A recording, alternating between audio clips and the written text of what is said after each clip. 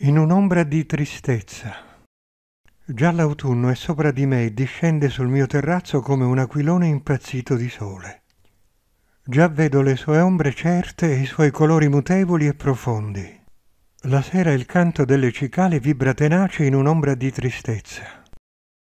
Sospiro e penso all'estate passata che, fuggita piano come le altre, senza mutamento, mi ha lasciato una noia sofferta e i miei dubbi di sempre le mie ore vissute in mezzo agli uomini e alle cose, senz'altra scelta.